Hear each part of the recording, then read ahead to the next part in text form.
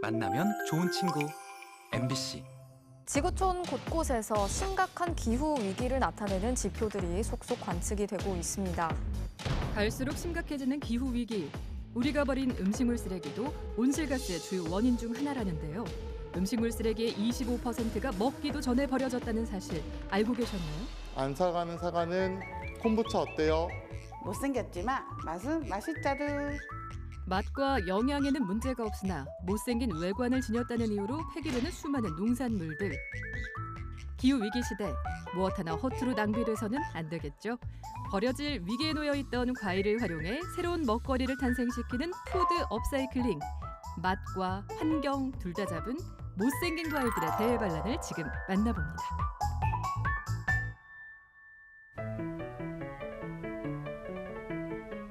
영천의 한 공장. 이곳에서는 자칫 버려질 뻔했던 사과가 새롭게 재탄생한다고 하는데요. 저희는 경북에서 이렇게 썩거나 판매되지 못한 농산물들을 활용하여 푸드 업사이클링 개념의 콤부차를 만들고 있습니다. 콤부차는 물에 원당과 유익균을 넣어 발효시킨 음료수로 다양한 과일들을 활용해 제조할 수 있다고 합니다. 하나의 농산물이 만들어지는 시간 4,320시간. 그중 못생기고 당도가 조금 떨어져 폐기되는 농산물은 약 20%라고 하는데요. 버려지는 농산물들을 이용해 과일 고유의 맛을 살린 특별한 콤부차. 농가도 살리고 환경오염에도 대응할 수 있어 주목받고 있다고 합니다. 아, 탄산이 정말 잘 충분했습니다. 숙성은 어때? 숙성도 정말 잘 됐고 상큼하고 맛있습니다. 보통 농산물의 경우 빠르게 소비하지 못하면 썩거나 곱는 경우가 발생합니다. 그러한 경우를 방지하고자 빠르게 이러한 농산물들을 매입해서 농축 과정을 거쳐서 저희 발효 배양 탱크에서 8시간 장기간 보관하게 되면 이러한 음료가 만들어지게 됩니다. 손질된 과일과 우린 녹찬물로 사과 농축액을 만드는데요. 만들어진 농축액을 사과 발효 분말과 함께 잘 섞어줍니다. 잘 섞인 농축액을 발효 탱크에 넣고 3일간 숙성을 시키면 탄산 가득한 콤부차가 완성됩니다. 코로나 시기에 팀 동료의 부모님이 만든 농산물이 팔로 잃고 버려지는 모습을 발견하게 되었습니다. 심지어 팔로를 잃었는데 불구하고 버릴 때조차도 환경적인 비용이 발생을 하게 되었고 이러한 문제를 해결하기 위해서 제가 가장 잘 아는 발효를 통해 이 문제를 해결하고자 시작하였습니다. 어, 몇씩 돌려보면서 문제 되는 건 없... 캔 전체 따지는 거, 어, 컵으로. 좀 더 시원하게 먹으면 더 청량감을 느낄 수도 있는데 맞아요. 온도가 더 낮아지면 볼륨감 있게 먹을 수 있을 것 같아요. 요즘 우리 환경 문제 때문에 이거 저 전부 다 분리 수거를 해야 되는데 이 비닐을 이렇게 따지는 부분 이게 지금 잘 안 따지더라고 잘 될 수 있게끔 필름집에다가 개선 건의 좀 했으면 좋겠다. 만드는 것에서 그치지 않고 그 이후까지의 환경을 한 번 더 생각하는 대표님. 아무래도 가장 힘든 점은 음료를 맛을 만드는 과정이 제일 힘들었습니다. 하루에 90잔씩 맛을 보면서 조금 더 건강하고 더 맛있게 콤부차를 만들다 보니까 매일매일 마시면서 하는 이 연구 과정이 너무 힘- 너무 힘들었습니다. 그렇게 완성이 다 된 food upcycling 콤부차. 하나하나 정성껏 포장돼 그 가치를 알아본 사람들의 식탁으로 향하게 됩니다. 국산 농산물을 높은 비중으로 사용을 하였기 때문에 농산물이 가지고 있는 풍부하고 진한 맛을 느끼실 수 있으십니다. 콤부차는 위장 건강에 도움이 되는 것으로 알려져 있는데요. 진한 콤부차의 맛이 궁금해집니다. 주문하신 콤부차 나왔습니다.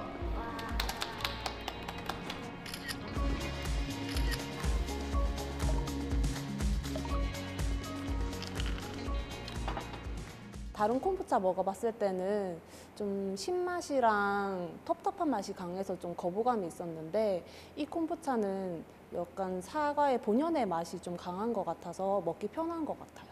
아, 너무 맛있어요. 그리고 들어보니까 B급 농산물로 만들었다고 하는데 저도 착한 소비에 동참할 수 있었던 것 같아서 너무 좋습니다. 자두의 고장 김천. 예쁘고 잘생긴 자두가 있으면 못생긴 자두도 당연히 있을 텐데요. 이곳에서도 못난이 자두가 색다르게 변신하고 있다고 합니다. 벌써부터 맛있어 보이는 비주얼에 기대가 되는데요. 안녕하세요. 저는 김천 특산품인 자두, 그 중에서도 요 못난이 자두를 활용하여 떡, 샌드, 청, 김치를 만들고 있습니다. 아니 지금 제철도 아닌데 가능한가요? 어, 당연히 가능하죠. 잠시만 기다려 주세요. 자, 바로 이겁니다. 이게 다 자두라고요?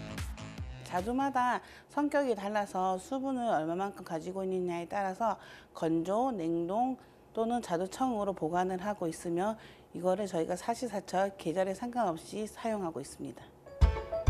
자두는 수확기와 저장 기간이 짧고 유기산으로 인해 발효가 되는 등 가공에 매우 안 좋은 단점들을 지니고 있는데요. 레시피 연구에 어려움이 많았지만 오랜 연구 끝에 특허 공법 기술을 개발해 다양한 형태로 자두를 보관하고 있다고 합니다. 이 자두마다 다 성질이 달라서 여기는 자두 가육을 100일 동안 숙성을 해 놓았고요. 여기는 자두 껍질을 이용하여서 자두청을 해 놓았습니다. 못난이 자두다 보니 당도가 많이 높아서 가지고 있는 색깔, 성향에 따라서 따로따로 청을 담아 놓고 있습니다. 겉모습이 못났다는 이유로 버려지던 못난이 자두. 모양은 달라도 맛과 영양분은 그대로라는데요. 그들의 맛있는 변신이 시작됩니다. 자두 하나가 그대로 들어가 있는 자두떡. 자두와 크림이 만나 달콤함에 상큼함을 더한 자두 샌드.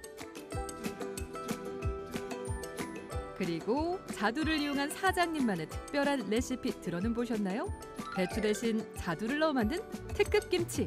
자두 김치 같은 경우는 자두를 구매하셨을 때 덜 익은 자두를 사셨다고 맛없다고 버리지 마시고 자두청을 담으셨다가 액은 음료로 사용하시고 이 남은 자두 건지는 김치로 담으시면 너무 좋습니다.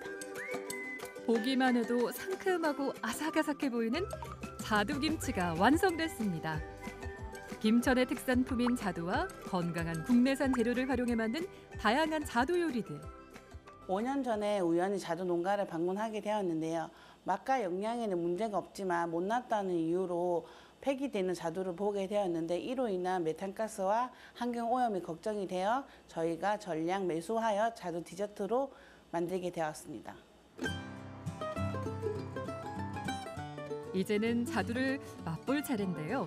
새콤달콤한 자두로 만든 청까지 준비가 되어 있네요. 자두는 빈혈 예방과 변비 해소에도 효과적인 과일이라고 하는데요. 못난이 자두를 가지고 이렇게 다양한 제품들이 나와 있는 게 너무나 신기하고 이 생각보다 색깔이 너무 예뻐요. 색깔도 예쁘고 자두 음료 처음 들어보고 처음 마셔보는 것 같은데 괜찮아요. 너무 좋아요. 강추합니다. food upcycling으로 농가 상생을 실현하고 있는 사장님. 게다가 취약계층 및 보호종료 아동의 홀로서기를 지원하는 등 지역사회에도 다양한 노력을 기울이고 있다고 합니다. 앞으로 계획은 지금보다도 더 많은 디저트를 만들어 한국의 자두를 세계로 널리 널리 알리고 싶습니다. 못난이 자두 많이 사랑해주세요. 무심코 버려지던 것들에서 새로운 가치를 발견하는 food upcycling. 기후 위기의 시대에 작지만 큰 변화의 시작을 응원하겠습니다.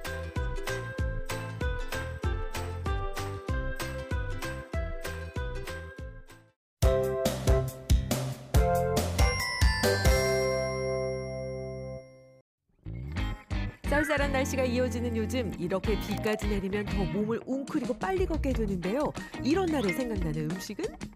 아, 이렇게 추운 날씨, 쌀쌀한 날씨 생각하면요. 아, 따뜻한 국물 요리가 생각이 나는데요. 그 중에서도 음, 짬뽕? 해장국? 아, 뭐가 좋을까? 일단 가볼까요? 추위에 지친 하루를 뜨겁게 위로할 매콤한 국물을 찾는다면 주목하시라. 얼큰한 짬뽕 한 그릇과 시원한 해장국 한 그릇의 대결. 얼어붙은 속을 달래줄 국물 요리. 한 번 먹으면 계속 먹고 싶어지는 마성의 한 그릇 즐기러 지금 떠나보시죠.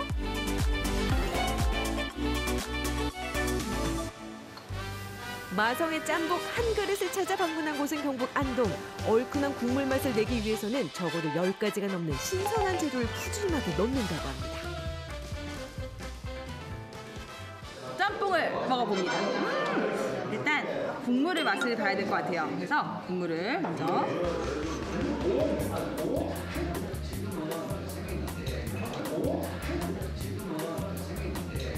음. 줄 알았는데 걸쭉하진 않아요. 그런데 묵직한 맛도 나고 깊이도 있고 근데 또 개운해요. 음. 모든 재료를 강한 불에 빠르게 볶아 불맛 가득 입혀주니 웍에서 뿜어져 나오는 강력한 불줄기에 매운 고추기름 향이 가득 퍼져 침샘 차극. 사장님만의 짬뽕의 매력은 뭔가요? 이 불맛도 있고 먹어보면 알겠지만 깔끔하면서 무거운 맛이 있어요. 밥과 반찬처럼 짬뽕과 탕수육은 놓칠 수 없는 짝꿍. 주문 즉시 튀긴 탕수육 위에 기름의 느끼함을 잡아줄 새콤달콤 소스까지 바삭하고 촉촉해 보이는데 맛 설명 좀 해주세요. 어, 일단 소스가 굉장히 진하잖아요. 이 소스 맛도 감칠맛이 엄청난데 고소하고 쫀득한 맛? 그래서 아이들도 맛있게 먹을 수 있는 맛? 그러니까 온 가족이 다 먹을 수 있는 그런 맛이 아닐까 싶어요. 음. 마침 식사를 즐기고 있는 손님들 마성의 짬뽕 한 그릇 준비 완료. 신선한 해물 한 입, 면발 후루룩 후루룩. 다른 집과 비교하면 맛이 어떤가요? 네, 다른 보통 다른 집에 가면 좀 느끼한 맛도 있고 신선한 맛은 없는데 이 집은 재료가 정말 좀 신선하니 깔끔한 맛? 네. 그래서 그냥 자주 찾아와요. 땀을 쫙 빼면서 전날의 숙취를 완전히 해소할 수 있는 정말 멋진 짬뽕입니다. 강추 드립니다. 계속 떠먹어도 질리지 않는 얼큰한 국물에 아삭아삭한 채소와 쫄깃쫄깃한 면발까지 짬뽕 한 그릇이야말로 추운 날씨에 생각나는 국물 요리의 전설 아닐까요? 고기도 들어가고 해산물에 아주 신선한 야채에 채소 막 들어가 있잖아요. 어, 다양한 맛을 한꺼번에 느끼고 싶으시다면 그리고 시원하고 뜨끈한데 속이 확 내려가는 그 맛을 느끼고 싶으시다면 짬뽕, 짬뽕 꼭 드셔보시기 바랍니다. 또 다른 국물 요리를 찾아 방문한 곳은 경북 안동의 어느 한 해장국집. 시원한 해장국에 다진 양념을 넣어 얼큰하게 즐길 수 있다는데 여기도 마성의 국물 요리 한 그릇 대령이요. 선지까지 이만큼 올려서 국물 한번 담갔다가.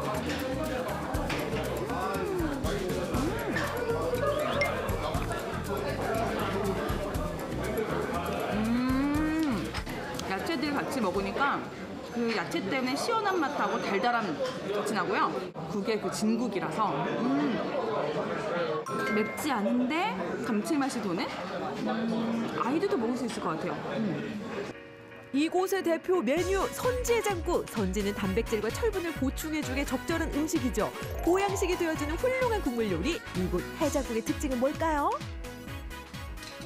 콩나물이라 그리고 당면, 배추 골고루 푸짐하게 많이 들어가는 선지 해장국입니다. 위에 다대기를 올리면은 맵게 드실 수 있고 육수 본연의 맛을 그대로 느낄 수도 있고 담백하게 맛있게 드실 수 있습니다. 사골 육수로 맛은 물론 영양까지 챙긴 선제장국. 국물 한 입이 속까지 후끈하게 데워주니 아무리 일교차가 커도 충분히 이겨낼 수 있겠는데요. 어떤가요? 속 시원하게 풀어지는 그 맛 맞아요? 뭐 고추기름이라든가 뭐게 어, 조금은 분량이 입혀져서 나오는 듯한 그래서 조금 더 감칠맛도 있고 깊은 맛이 나는 것 같은데 국물이 어, 사골 베이스에 제가 먹어보기에 사골 베이스에 근데 다른 데는 조금 조미료나 이런 맛이 좀 강한데 여기는 그 조미료 맛이 거의 없고 그 본연의 맛 그대로 그리고 선지도 되게 좀, 어, 좀 신선한 느낌이고 꼭 와서 드셔보셨으면 좋겠어요. 뜨끈하게 속 달래줄 국물 요리 얼큰한 해장국을 즐겼다면 이곳 갈비탕도 놓칠 수 없습니다 부드럽고 쫄깃한 갈비의 식감이 좋다고 하는데요 갈비탕 맛은 어떤가요? 소수육이라고 하거든요. 이게 오. 음. 벌써 입이 없네요. 보들보들하게 음. 바로 넘어갔습니다. 자 이렇게 어, 해장국도 드시면서 같이 드셔도 맛있을 것 같아요. 맛도 맛이지만 넉넉한 양을 자랑하는 해장국과 갈비탕 추운 날씨에 마음이 허할 때 따뜻한 음식을 즐기고 싶을 때 국물 요리 어떨까요?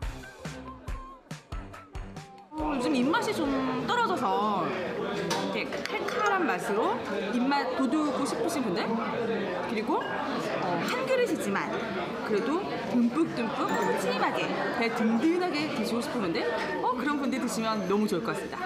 모두 다 드시러 오세요 해장국. 자극 적이지 않고 깔끔하게 입맛을 사로잡다. 마성의 국물 요리 한 그릇. 시원한 국물을 원한다면 해장국으로, 얼큰한 국물을 원한다면 짬뽕으로. 오늘 저녁 어떠신가요?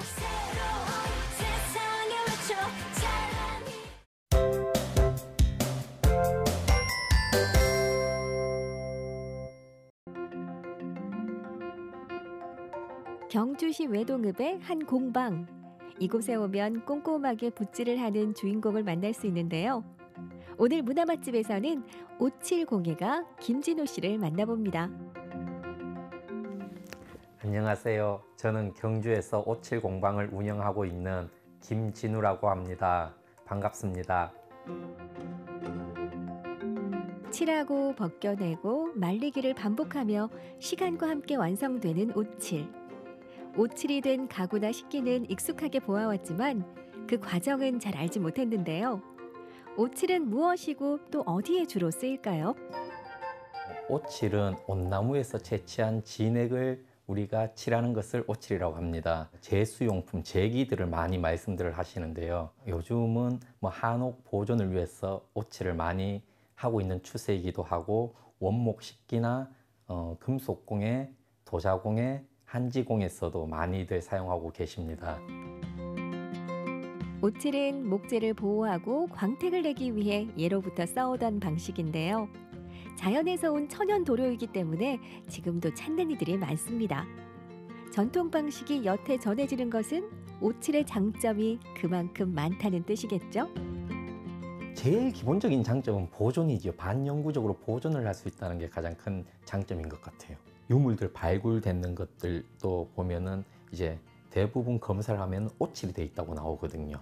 땅 속에 뭐 몇백 년 아니면 몇천 년이 넘어도 그대로 보존하고 있는 것 자체가 오칠이 되어 있었기 때문에 뭐 방수나 방습 효과가 있다 보니까 상하지 않고 그대로 보존이 되고 있다고 보시면 될 것 같아요. 제 같은 경우는 주로 식기에 많이 사용을 하고 있는데 요즘 회화하시는 선생님들이나 아니면 건축 쪽에서도 옷을 많이 사용하고 있는 걸로 알거든요.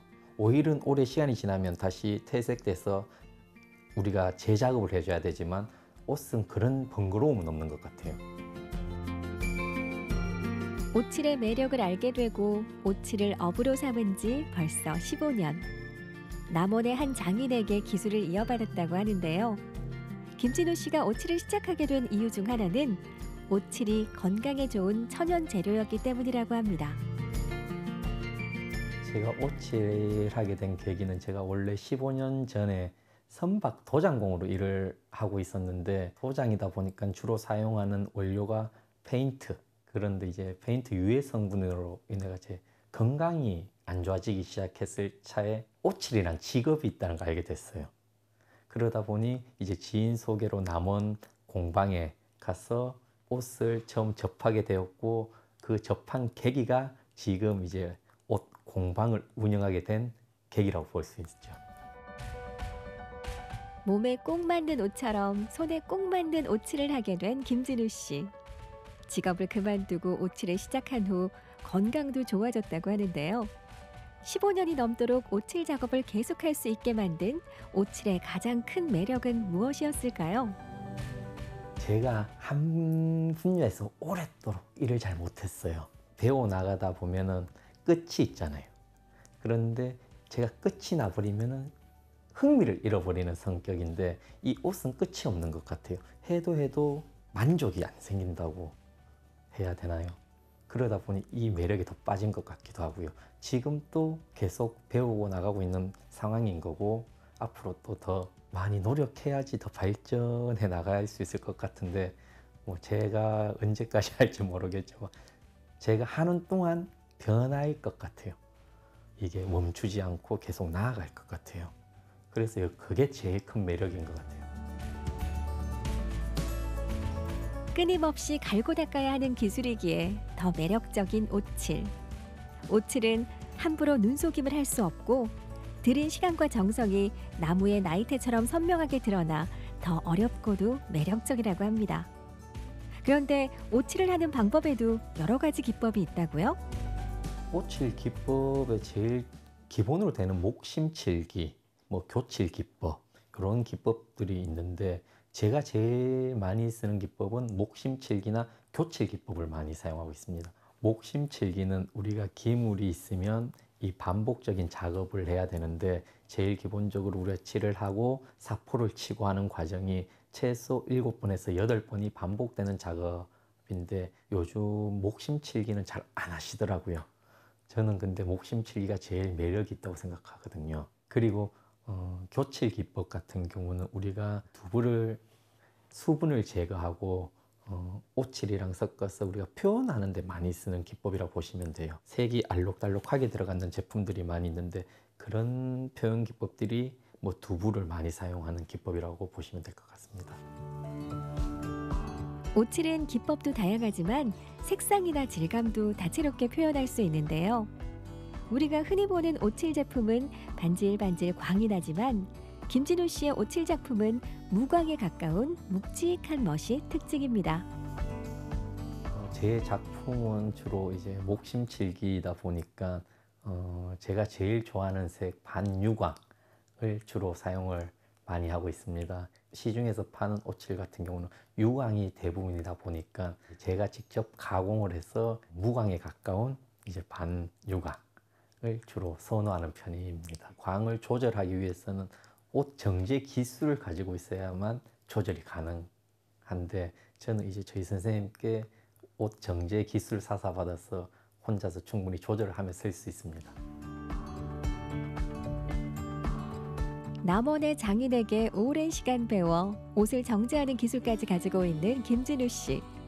덕분에 그의 오칠은 이미 지역에서 명성이 자자한데요. 다른 지역에서도 많은 이들이 오칠을 배우기 위해 찾아오고 있습니다. 생긴 것과 다르게 이제 하시고요. 섬세하시고요. 그 다음에 저하고 이제 1대1 수업을 주로 많이 하는데 1대1 수업 하면 제가 사소하게 놓치는 부분들이 있거든요. 그런 것까지 이제 세세하게 다 잡아주시죠. 그래서 저는 굉장히 좋은 것 같습니다. 지금 현대 트렌드에 맞춰가지고 새로운 도전들을 굉장히 많이 하고 계세요.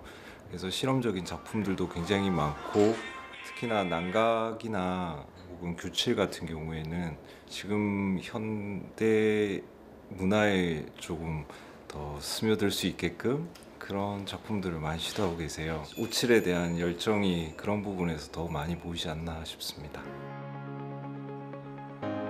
흔히 오칠은 식기와 작은 가구에만 사용된다고 생각하지만 한옥의 마감에도 중요한 역할을 해왔는데요. 문화재 기능 수리자이기도 한 김진우 씨는 우리 한옥의 보존을 위한 오칠 작업도 하고 있습니다.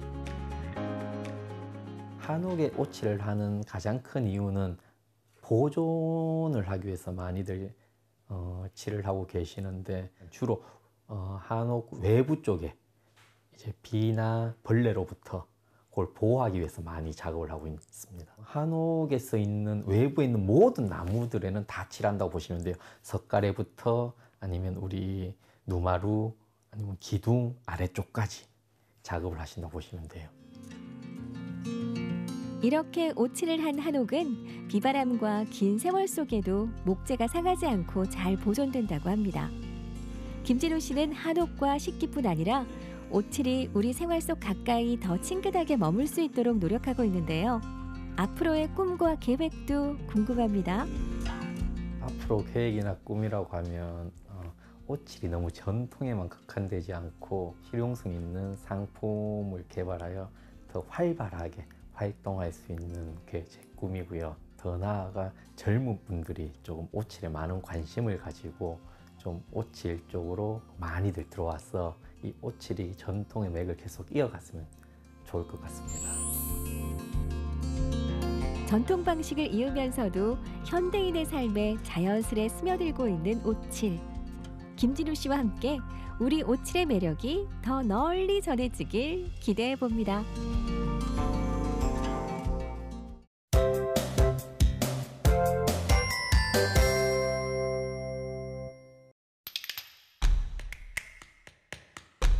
긴 칼과 하얀 도복, 빠르면서도 절도 있는 스포츠인 펜싱.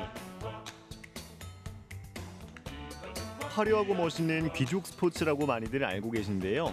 이젠 누구나 쉽게 배우고 즐길 수 있는 생활체육이 됐습니다. 전 펜싱 국가대표 출신으로 춘천에서 생활체육의 길을 넓혀가는 백윤아 대표. 직접 해보는 펜싱의 매력에 빠져봅니다.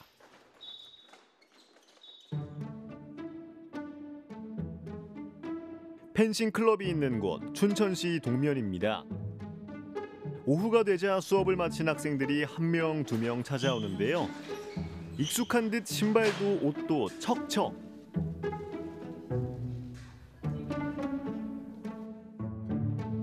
길고 날렵하게 생긴 검과 투구가 있는 펜싱 클럽입니다. 클럽 곳곳에 펜싱과 관련된 사진, 상장, 영상을 쉽게 볼 수 있는데요. 이곳은 국가대표 출신 백윤아 대표가 운영 중인 펜싱 클럽. 작년 9월 처음 문을 열었습니다. 강원 도내에서 유일하게 18m 정식 규격 펜싱장을 보유하고 있습니다.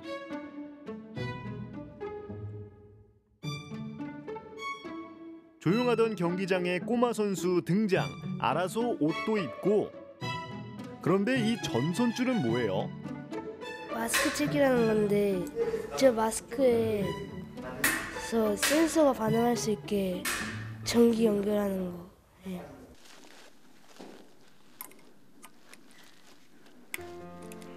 칼과 재킷에 전기를 흐르게 하는 펜싱. 득점 심판기와 재킷을 연결하면 칼이 몸에 닿는 순간 심판기에 불이 들어와 득점을 가릴 수 있습니다.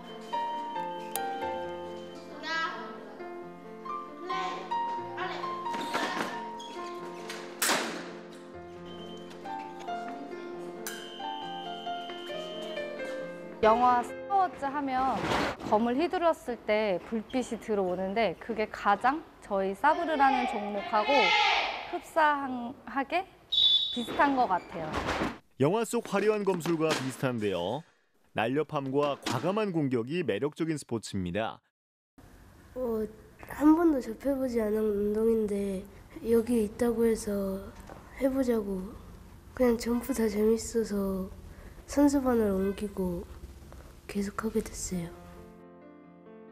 장비도 많고 쉽게 접하기 어렵지 않을까요?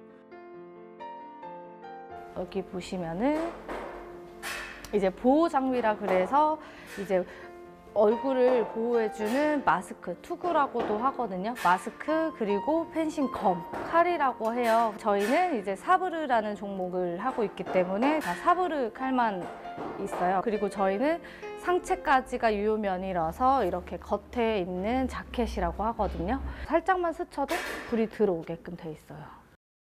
대부분 이제 문의 오시는 게 어, 펜싱 장비가 다 갖춰져야지만 펜싱을 배울 수 있나요? 라고 문의가 오시는 게 대부분인데 남녀노소 누구든 와서 언제든지 와서 배워보실 수 있게끔 저희가 다 장비가 갖춰져 있어서 와서 배워보실 수 있어요.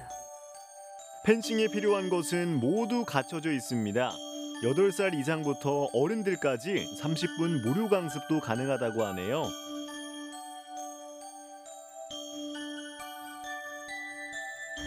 안녕하세요. 저는 강원도 춘천에서 펜싱 클럽을 운영 중인 백유나 감독이라고 합니다. 이제 한국체육대학교를 졸업을 하고 이제 안산시청 선수 생활을 하면서 이제 국가대표까지 이제 하면서 이제 제가 부상으로 아킬레스건이 이제 끊어지면서 이제 부상으로 선수 생활을 이제 접게 돼서 후배 양성이나 이제 선수들을 조금 더 하는 거에 조금 더 해보자라고 해서 이제 지도자의 길을 시작하게 됐습니다. 일단 여기 춘천에는 지금 생활체육 이렇게 클럽을 운영을 하고 있는 강원도 내에도 어디에도 클럽이 운영되고 있는 펜싱 클럽 자체가 없더라고요. 제가 이제 춘천에 올 때만 해도 펜싱이라는 종목이 너무 생소하다 보니 강원도 지역분들 그리고 또 춘천 시민분들이 펜싱이라는 종목을 조금 더 편안하게 거리감이 느껴지는 종목이 아니라 그냥 편하게 배울 수 있는 종목이었으면 하는 생각에 시작을 하게 되었던 것 같아요.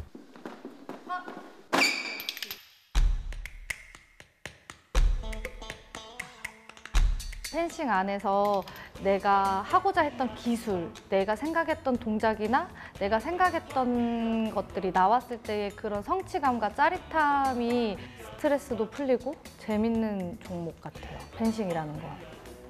그렇지. 뒷발 더 차야 돼. 준비고 마르세 파. 그렇지. 고 조금 더 가다가 파. 그렇지. 준비 있고 팡트. 그렇지. 다시 마르세 파. 그렇지. 스텝으로 속도와 상대방과의 거리를 조절하고 타이밍에 맞게 공격하는 기술. 한 번쯤 해보고 싶은 스포츠인데요. 이렇게 펜싱의 매력에 빠져 취미로 시작해 전문 선수에 도전하는 학생들도 많습니다. 클럽에선 이렇게 시작한 선수들도 지도하고 있는데요. 최근 선수를 시작한 최봄 학생 새 연습복을 맞췄습니다. 적용하긴 하는데 근데 너는 이제 계속 써야 되니까 너가 더 편한 해보고 편한 거한번 시키면 이제 계속 써야 되잖아. 이제 한 달 된 이제 선수반 새내기입니다. 저 한 3개월 정도 취미로 하다가 이제 제대로 하고 싶기도 하고 제가 원해서 선수반으로 들어왔어요. 어, 더 열심히 하고 안 되는 동작도 더 잘 연습하고 싶어요. 도복에 마스크까지 장비를 제대로 갖추고 훈련에 들어갔습니다. 공격과 수비 패턴을 익히는 전술 훈련 중인데요. 꾸준한 연습 덕분에 각종 대회에서 메달을 따기도 했습니다. 스스로 좋아서 하는 만큼 빠르게 배우고 성장하는 선수들. 코치님과 1대1 레슨을 받는 선수. 와, 발이 안 보일 정도로 정말 빠르네요.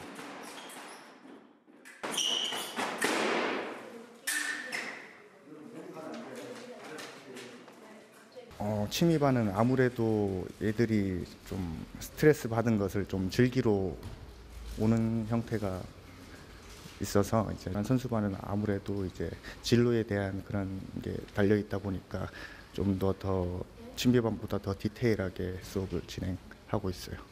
2024년 다치지 말고 일단 건강이 우선이니까 그냥 재밌게 선생님이랑 열심히 수업해보자.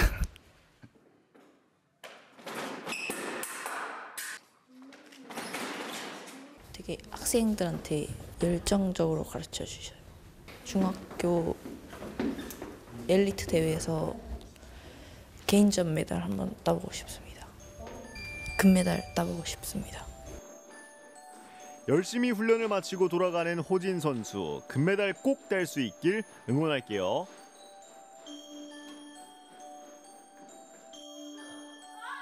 선수반 훈련이 끝나고 이번엔 취미반 수업 시간. 딱딱한 준비 운동 대신 즐겁게 놀면서 몸풀기를 시작하는데요. 쉬는 시간에는 즐거운 댄스까지 많은 학생들 중 유독 즐거워 보이는 이 친구 펜싱을 정말 좋아한다는데요. 재밌어요. 그 집에 가면요. 어 집에 가면 엄마가 항상 고생했어라고 말해주는데 그 말 들으면 힘도 나고 그다음에 게임 경기 뛸 때도 그 뭐냐 어 꼭 이기겠다 그 의지를 하고 있어요. 꼭 이길 거다. 천진난만 개구쟁이에서 검객으로 변신. 먼저 공격에 나선 준원군. 빠르게 나가 공격해 보는데요. 이런 상대가 막아내면서 오히려 어깨를 베었네요. 취미반도 이렇게 화려한 게임을 선보이는데요. 전신을 모두 사용하는 유산소 운동이면서 근력 운동의 효과를 내는 펜싱.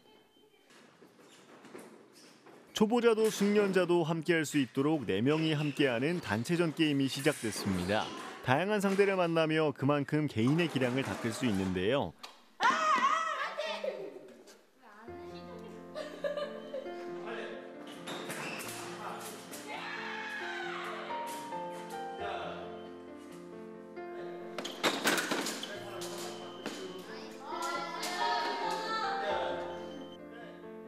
취미로 즐기는 펜싱의 장점은 뭘까요?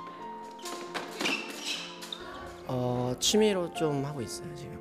어, 전에 검도를 하다가 검도 말고 딴 것도 배워볼까 싶어가지고 펜싱하게 됐어요. 괜찮은 경험인 것 같기도 하고 몸도 좋아지고 정신도 건강해지는 것 같습니다. 제가 휴대폰을 많이 해가지고 운동이나 하라고 펜싱했어요. 재밌어요. 경기 뛰는 거요. 이길 때마다 기분이 좋아져요.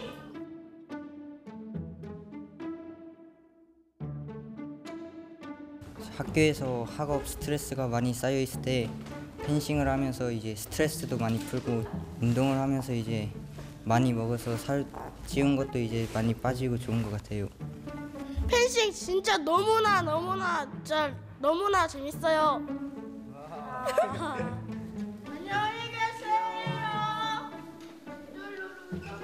이렇게 수업이 끝나고 취미부터 선수까지 펜싱 하나로 저마다의 꿈을 키우는 곳.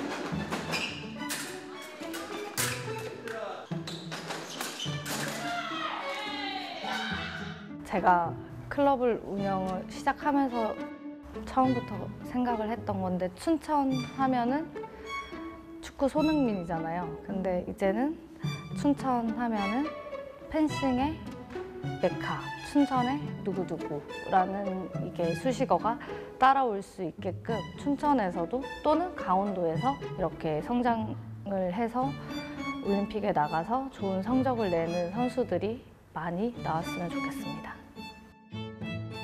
누구나 쉽게 배우고 함께 즐기는 펜싱 클럽의 하루였습니다. 모두 원하는 꿈과 성적 이루길 응원할게요.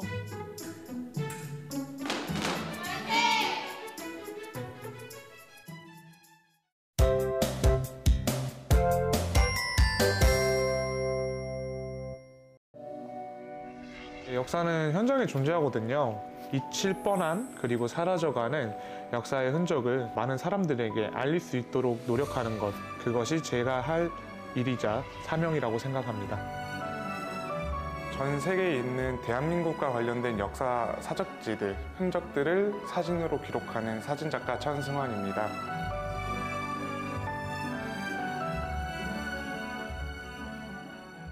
아, 네, 설명해 드릴게요. 어, 그, 네, 네, 맞습니다. 제가 사진을 다 찍었고요. 관동대지진 조선인 학살이라고 하면은 조선인 뭐 우물에 독을 타서 죽였다 이런 식으로 생각하시잖아요. 근데 굉장히 다양한 양상에 있어요. 사건들마다. 공분조차 해일 수 없는 묻엄은 시인 양주동이 관동대지진 조선인 학살을 어, 직접 목격을 하고 1925년 11월에 발표한 시 무덤에서 차용한 식구인데요. 그 100년 전에 무덤의 표기법이 묻엄이었기 때문에 그 시간성을 표현하기 위해서 묻엄으로 표현해서 전시 제목을 정하게 되었습니다. 조선인도 말을 잘 못하니까 그 마을 사람들이 나중에 이렇게 비를 이렇게 세우게 되었습니다. 작년 2023년이 관동대 지진 조선인 학살 100주기여서요. 2023년 3월 6일부터 5월 24일까지 일본 도쿄를 중심으로 한 관동 지역을 돌아다니면서 총 40곳 정도의 추도비나 어, 위령비 그리고 감사비 사진으로 기록을 한 전시를 구상을 했습니다.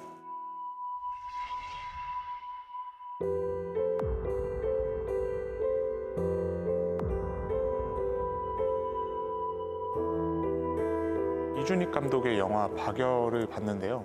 아 그때 그 관동대지진 관련된 위령비가 있다고 했었던 것 같은데 한번 찾아가 보자 해가지고 찾아가게 된게 어, 여기 있는 비석이고요. 사람들이 어 그거 얘기는 들어본 것 같은데 정확하게 뭔지 모르겠다라는 이야기를 참 많이 했었거든요.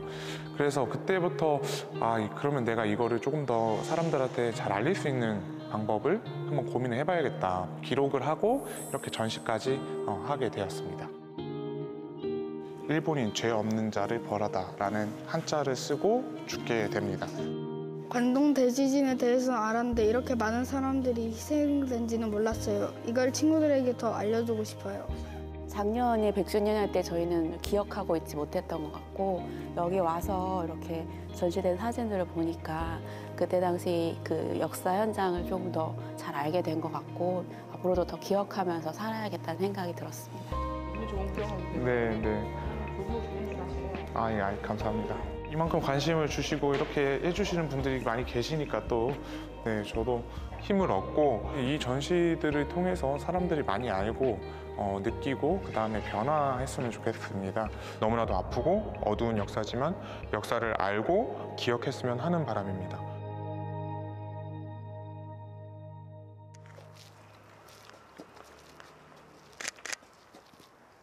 이쪽 동국사 후면 쪽에 보시면은 이렇게 평화의 소녀상도 있습니다. 일본식 사찰인 동국사하고 모진 고통을 겪은 분들의 형상을 한 어, 소녀상이 이렇게 양립하는 걸 보니 아이러니하기도 하고 참 오묘한 그런 감정을 가지지 않을 수가 없습니다. 네, 제가 사진 한번 찍어 드리겠습니다. 네, 이쪽 보시고요. 하나, 둘. 아이고, 애기가 엄청 이따가 사진 하나 보내드릴게요. 여기 메- 전화번호로 메일 한- 하나만 남겨주시겠어요? 어렸을 때부터 세계 여행을 무전 여행을 해보고 싶다라는 꿈이 있었어요. 역사학과다 보니까 베트남 뭐 전쟁 증오비라든지 광개토 태양릉비라든지 이렇게 계획한 곳들을 다니기 시작했고요. 일본, 뭐 러시아, 중국, 네덜란드, 아, 프랑스 파리, 그 다음에 뭐 사이판도 다녀왔고요. 그 중에서도 이제 그 위안부 동굴이라고 해서 사이판 그 현지 교민들만 알던 위안부들이 생활을 했던 공간이 하나 있습니다. 거기를 제가 어, 기록을 하게 돼가지고 사람들에게 알리게 되었습니다. 역사라는 것을 어떻게 하면 더 많은 사람들에게 조금 가깝게 다가갈 수 있겠느냐를 좀 고민을 많이 했던 것 같아요. 그러다가 사진을 통해서 역사를 사람들에게 알리는 활동을 하고 더 알리지 못해서 안타까운 그런 상황 속에서 사진을 늘 찍고 있고요. 힘 닿는 데까지 걸어가야 할 길이다라고 생각합니다.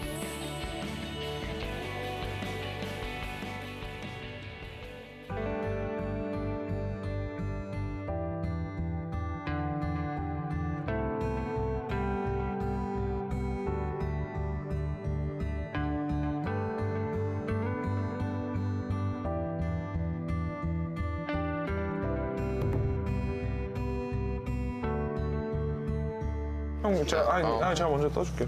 원래 이거는 당면 먼저 떠야 돼. 아, 그렇지. 아, 진짜 추운데 있다가 먹으니까 더 맛있네. 그렇지.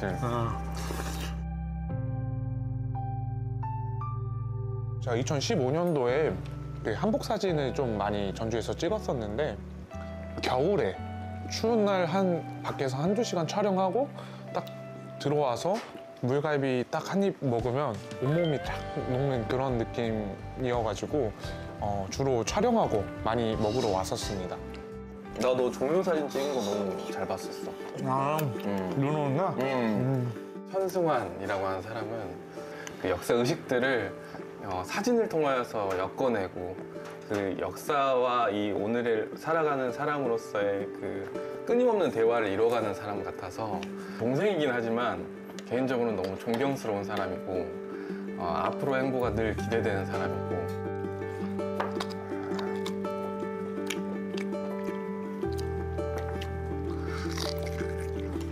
근데 갈비는 뜯어야 제맛이긴 해. 갈비 안 뜯으면 이게 서운하지. 원래 뼈에 붙은 고기가 가장 맛있잖아요. 그렇죠.